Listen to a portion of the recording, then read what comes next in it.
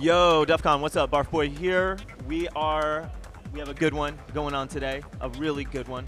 Okay, we've got uh, Brian here. He's the co-founder of Kindo, as well as the OG architect of Google Drive, believe it or not, pretty crazy.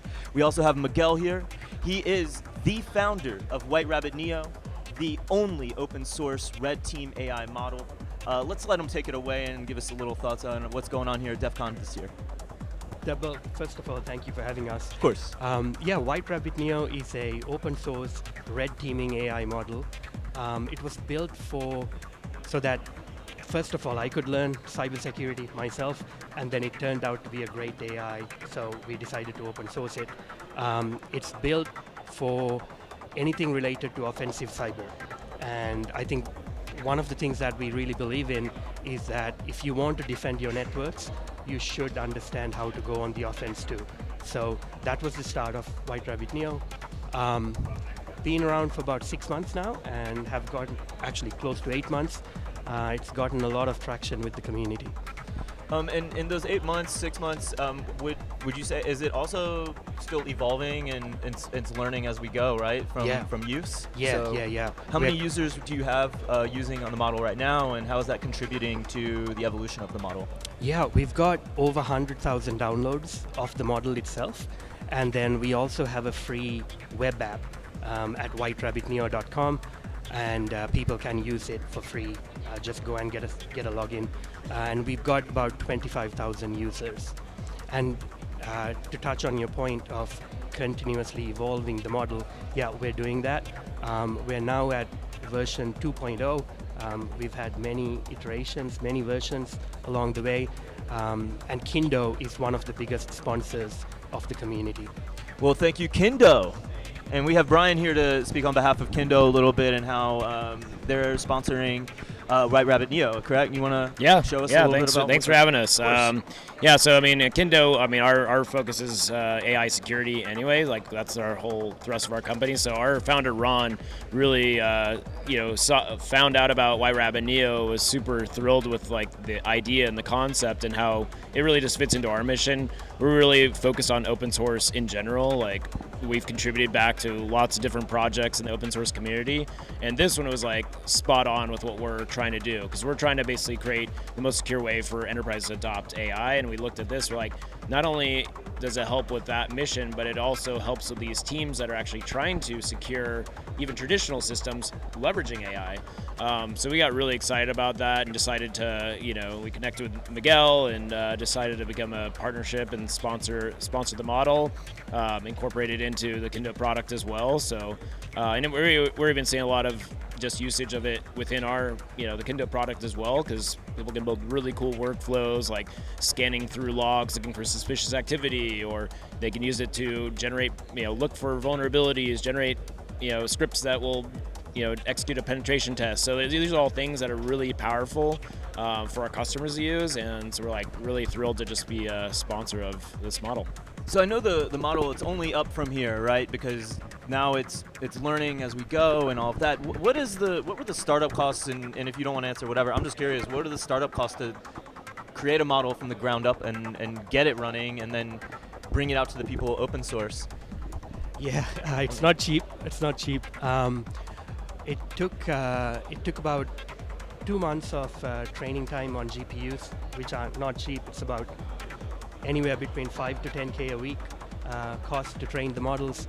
Um, and the larger ones now, which is uh, hitting about 400 billion parameters with, with like the Llama release, um, they cost about anywhere between 10 to 15k a week to train. So I'm really glad that Kindo came on board um, because it was a kind of a, a, a self-funded side project um, that evolved into a big, um, big community. Uh, so I'm really, really glad that Kindo's sponsoring now um, all this, all the compute from now on.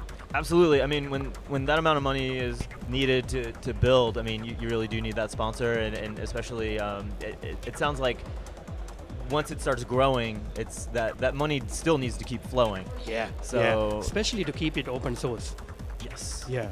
What are, what are the benefits? I'm curious. I mean, we know the obvious benefits of keeping something open source, but you know, from a business perspective and obviously it needs to be a sustainable business to keep it running. What are the benefits on your end to keep something, uh, keep keep this model open source for the people? Mm-hmm. Um, obviously, everybody at DEF CON loves that and uh, respects that. Um, on on the other side of it, how do we keep a business like this sustainable and keep this model up and running for people? Yeah, yeah. I think uh, it, it all comes down to credibility and gaining traction within the community as a, as the open source red teaming model, uh, the leading model.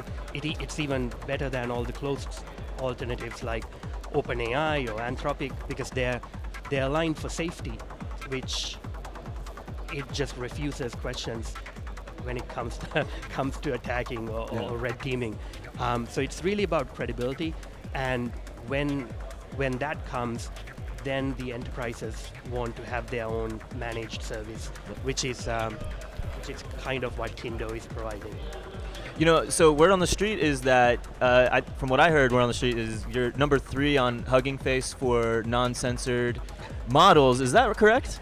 I, I think it's yeah number five right now. Number five, It's, it's a close. It's the older model, so the new one uh, should Is gonna really should- kick should some ass. up. Yeah, yeah. All right. Yeah, and this is uh, that's actually outside of White Rabbit Neo. Um, that's my other model series. Uh, it's more general purpose. Got it. Got it. Got it. Got it. Um, I, I think that's awesome. Um, let's see what what else. So let's just real quick talk about the specifics of what White, White Rabbit Neo. I would go and use this if I was on Red Hat, and I would go in. I would go search.